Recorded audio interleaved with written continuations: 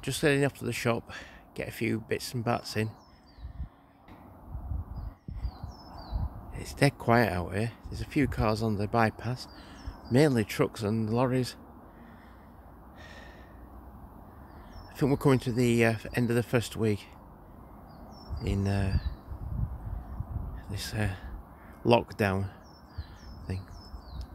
Oh dear. I've just been filmed uh, by a young girl through the window of her house. People walking about must be pretty much of a novelty. I've never seen this place looking so quiet.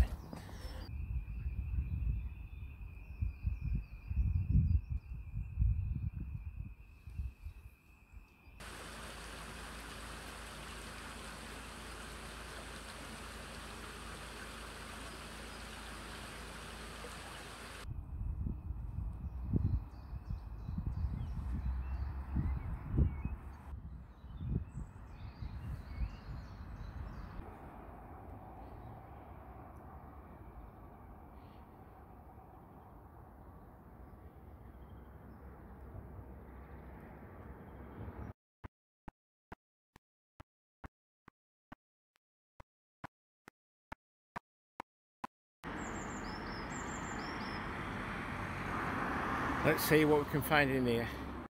Just been to the uh, co-op in town.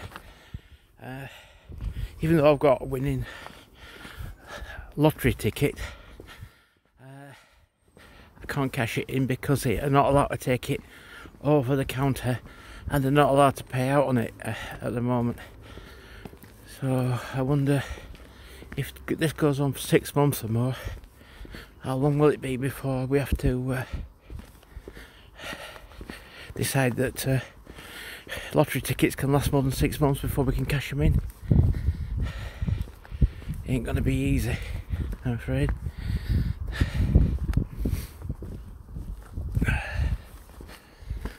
Right, not gonna be easy at all. Gotta get up this big hill now. Good job I'm not short of breath, in it? At the moment. I'm okay, just got a snuffling nose. Tiger, tiger, burning bright in the forest of the night. What mortal and or eye dare frame thy fearful symmetry?